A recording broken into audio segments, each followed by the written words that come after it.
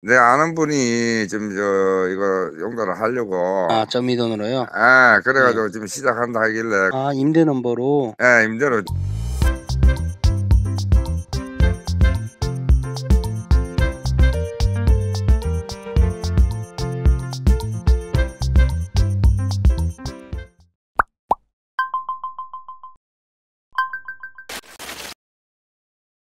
네, 디젤 트럭입니다. 아 이국 사장님 예, 김 과장하고 어, 지금- 통화하셨어요? 예 통화해가지고 수요일 날 그 한시대가 상담하기로 했습니다 아, 수요일 날 어떤 걸로요? 차로요? 예 차 저 뭐 뭐, 몇톤 임대 차로? 남 남발해가지고 아, 몇 톤 차로요? 1.2톤 해가지고 네. 그, 저 킹캡 있죠 예. 킹캡 좀 있습니까 차 네, 킹캡은 많죠. 예, 그러니까 그거로 해가지고 수요일 날 오시기로 했어요? 예 만들게 됐어요 음, 지역은 어디신데요? 이거 울산입니다 아, 울산에 멀리서 오시는구나. 아, 쟤는 지금 이제 일단 하고 있고, 네. 내 아는 분이 지금 저 이거 용도를 하려고, 아, 점미돈으로요? 아, 그래가지고 지금 시작한다 하길래, 아, 임대 넘버로. 예, 임대로, 아, 넘버 달린 거는 좀 부담되니까 넘버 네. 달린 것도 좋은 것도 있고 따로 차만 돼 있는 것도 있으니까 수요일 날 그럼 뭐- 같이 올라오시는 거예요? 예, 내가 나 어차피 저는 저 울산서 그 경기도권 장거리 일 하는 사람이거든요. 아, 콜 받아서 올라오시는 김에 아, 예, 예. 이게 그때 오시면 약속- 자세하게 상담해 드릴게요. 예, 저 그랬어요, 그러면. 네네. 예, 알겠습니다. 예, 예, 수요일로 봅시다. 네. 예, 예.